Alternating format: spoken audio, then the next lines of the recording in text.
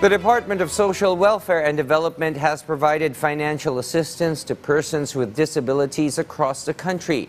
Meanwhile, the Philippine Statistics Authority or PSA presented a data on the causes of death in the Philippines. This and more in tonight's national news roundup by Sharissa Espargo.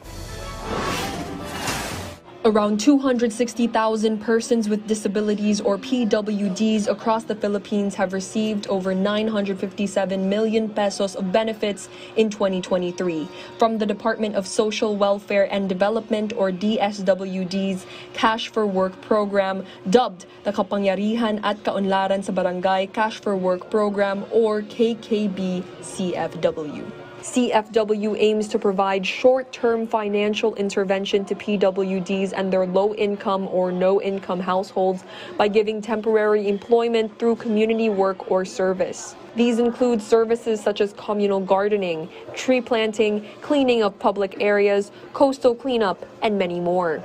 The DSWD plans to continue prioritizing empowerment of communities and PWDs in the country this coming year. The DSWD Oplan Pag-abot program has launched the use of e-profiling for children and families in street situations. DSWD Assistant Secretary for E-Governance and Information Technology Concerns, Julius Gorospe, said that using a tablet-based profiling app is part of the agency's digital transformation efforts that aim to expedite the overall reach-out operations of Oplan Pag-abot teams. E-profiling also ensures real-time entry of details details of profiled and interviewed clients into the Pag-abot's database. The Philippine Statistics Authority, or PSA, recently released data over the causes of death in the Philippines from January to August of 2023. The top three causes of death in the country from January to August 2023 are ischemic heart diseases, neoplasms, and cerebrovascular diseases. 19.1% of the total deaths, or 76,901 cases, comprised of ischemic heart diseases. Neoplasms came came in second with 42, and 149 deaths from 40,900 cases of cerebrovascular diseases.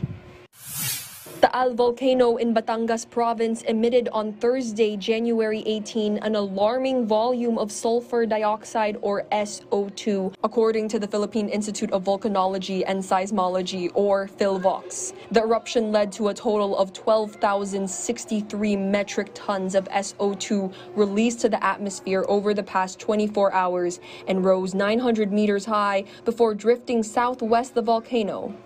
It is still under alert level 1, which is a low level of unrest. No earthquake was recorded, and local health officials have yet to issue a public advisory on the negative effects brought on by the high volume of toxic volcanic gas. Government officials still urge localities around the volcano to wear face masks, specifically the N95 variety, outside the house and practice safety precautions related to VOG.